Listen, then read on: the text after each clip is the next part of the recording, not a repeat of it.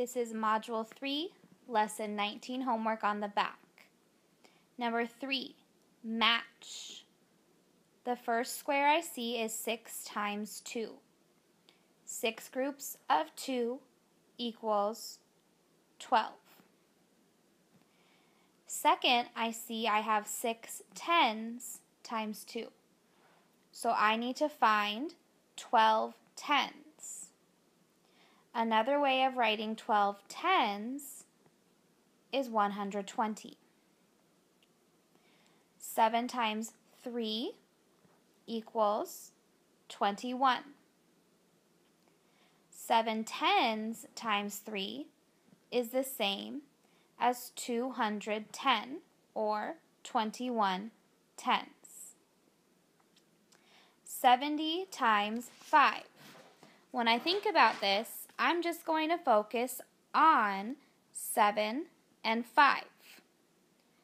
7 times 5 is 35.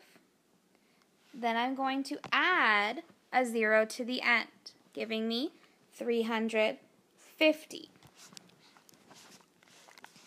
I want you to show your work and try 3 times 90 on your own. Number 4.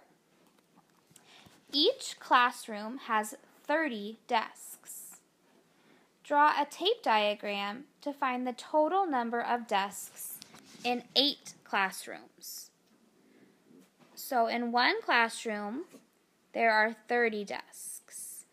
Two classrooms, 30 desks. Third classroom has 30 desks. The fourth classroom has 30 desks.